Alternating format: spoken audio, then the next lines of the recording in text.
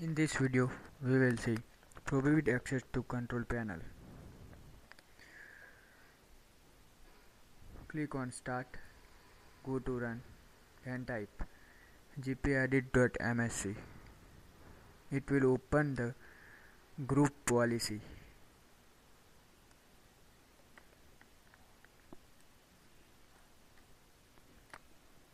In user configuration, Select the administrative template. In administrative template, select control panel. Then select prohibit access to control panel. Initially it is not configured. Double click on it to configure it, enable it, then apply and OK. You can see here it is enabled now.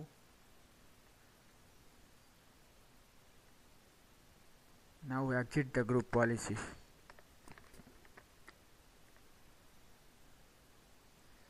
Now once again open run then type gp update. It will update the group policy. Now try to open the control panel.